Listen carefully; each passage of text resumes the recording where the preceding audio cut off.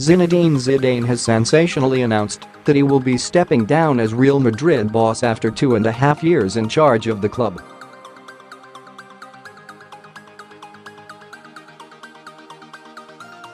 The Frenchman called an unexpected press conference on Thursday afternoon to confirm that he will be leaving his position as the first-team head coach despite his continued success in the Champions League.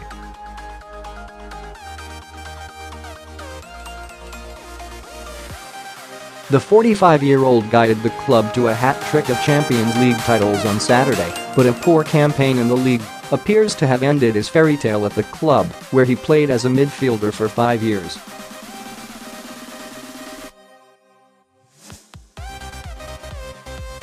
Arsene Wenger and Antonio Conte are the bookies' favorites to replace Zidane at Real, with Conte 4-1 to take over.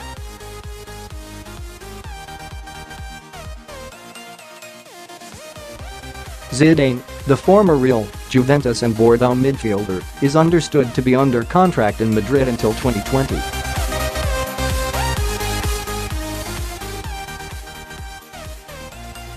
Stepping up from managing the Castilla B team, he replaced Rafael Benitez in January 2016, and although Real were runners-up to Barcelona at the end of the league campaign, he toasted European Gloria City rivals Atletico Madrid were vanquished after a penalty shootout in Milan.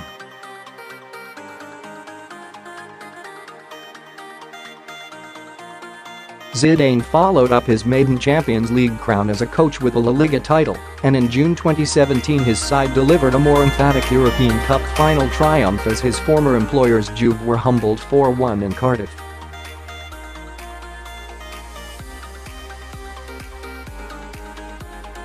Although Real lost only two of their first 15 league matches in the recently concluded Spanish Championship, Ernesto Valverde's Barca were able to run away with the league following their vital 3-0 El Clasico win at the Bernabeu in December.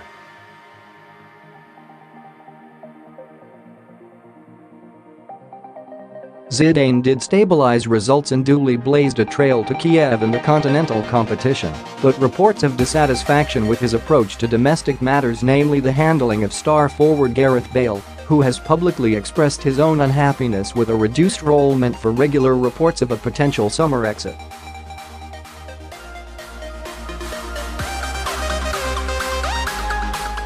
The 45-year-old has an incredible record with the club statistically speaking, Zidane has won 70% of his league games as boss and has only lost four Champions League games during his tenure.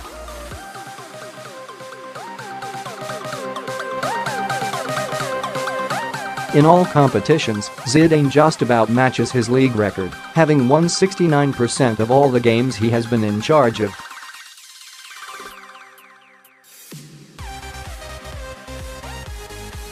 Despite his success in Spain and Europe with Real Madrid, he has had his future questioned this season after a poor run of form see them fail to challenge Barcelona and Atletico Madrid at the top of the table.